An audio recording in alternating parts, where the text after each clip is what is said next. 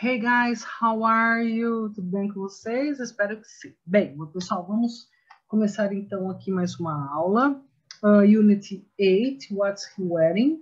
Uh, take your book and uh, open on page 62. We are going to do exercise 7. Listen and find. Then read and say the number. Bem, aqui é o seguinte, nós temos aí four kids, né, quatro crianças desfilando vocês vão ouvir, eles estão numerados, né? Number one, two, three, and four. Vocês vão ouvir e dizer o número, tá? De acordo com o que está é, falando aí que eles estão vestindo. E depois aqui também, tá? Vocês vão ler, colocar o número, ler e colocar o número. Vamos lá? Activity 7. Listen and find. Then read and say the number.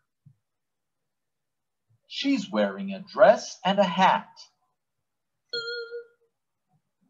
She's wearing shorts and a scarf. He's wearing a hat and sneakers. She's wearing socks and shoes. He's wearing pants and a jacket. Okay. Então, como que ficou a sequência aí de vocês? A sequência ficou number one, three, two, three again, and four. Ok? One, three, two, three, and four. E aqui, she's wearing a shirt and shorts number three. And here he's wearing a shirt and a jacket, number four. Vou colocar o áudio mais uma vez para vocês aí verificarem, tá bom?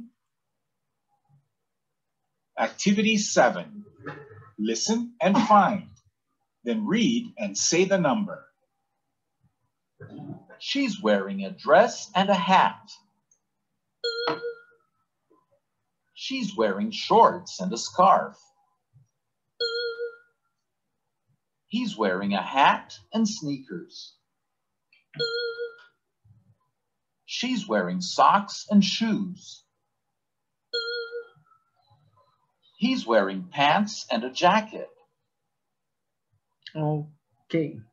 Next exercise now. Aqui, number eight, look at activity seven play with a friend.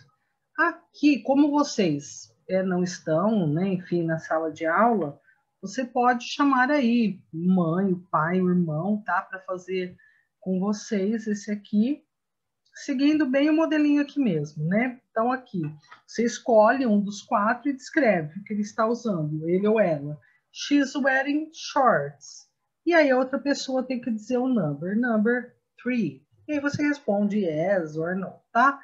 Então dá para vocês fazerem aí, chama papai, a mamãe, irmão, alguém para fazer essa atividade com vocês, tudo bem? Na próxima página, aqui, uh, listen and find. Then read, then read, say one, boo, peep, or two, wood, and uh, describe. Aqui, então vamos lá. Vocês têm que. Bem, pessoal, aqui nós vamos fazer assim, tem algumas coisas para fazer nesse exercício. Então vamos lá. A primeira, nós vamos ler e dizer number one or two, tá? Então, vocês aqui junto comigo. Letter A, a pink dress. One. Brown boots. Two. Brown belt, two. A pink hat, one. A yellow and red t-shirt, two. Black shoes, one. A red scarf, two. Blue jeans, two. Ok. Agora, eu quero que vocês, eu vou colocar o áudio já, tá? Daqui a pouco para vocês ouvirem. Mas eu quero que vocês, seguindo esse modelinho aqui, façam as frases no caderno de vocês, tá? Então, aqui, o primeiro item, a pink dress. Olha aqui, ó, she's wearing a pink dress. Depois a letter B, que que é? Brown boots. He's wearing brown boots. Qual que é o próximo item? Letter C, a brown belt. Então, aí no caderno de vocês, vocês vão escrever, fazer a frase, né? Agora é o item brown belt. Como que eu escrevo isso? Seguindo esse modelinho. He's wearing a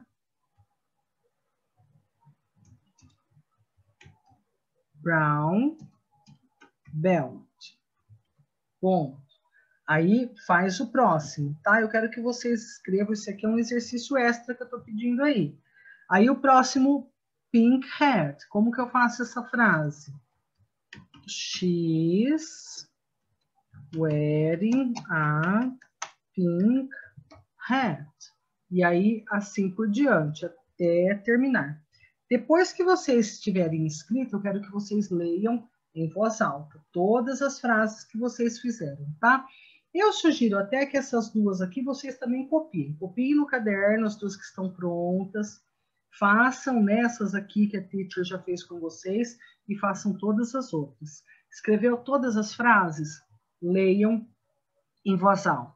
Quer fazer melhor ainda? Pega o celular emprestado aí da mãe, grava no celular, ouçam vocês falando. Isso é muito bom para estudar, para lembrar das palavras, para lembrar como escreve, para lembrar como fala, para perceber que falou errado e corrigir, tá? Isso é bem legal. Bem, feito isso tudo aí, agora eu quero que vocês ouçam o áudio com atenção aqui, tá? Vamos lá? Activity 9. Listen and find. Then read, say one, Bo Peep, or two, Woody, and describe. Look at Woody and Bo Peep. Woody is a cowboy. He's wearing brown boots and blue jeans. He's wearing a brown belt and a yellow and red shirt. Bo Peep is a doll.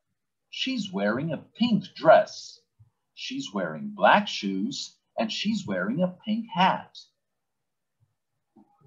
Ok. Agora o próximo exercício, tongue twister. Listen and see. Yellow jeans, yellow jacket. Yellow jacket, yellow jeans. I'm wearing, I'm wearing a yellow jacket and I'm wearing yellow jeans. Vou colocar o áudio, ouçam e repitam. Activity 10. Tongue twister. Listen and say. Yellow jeans, yellow jacket. Yellow jacket, yellow jeans.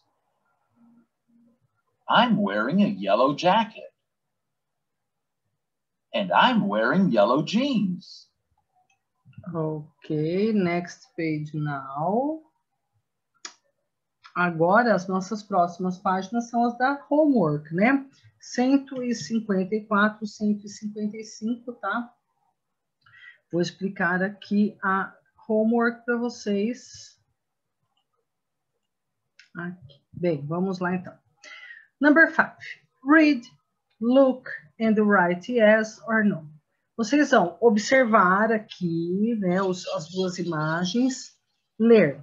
She's wearing a t-shirt. She's wearing a t-shirt. Vocês vão observar e escrever yes or no.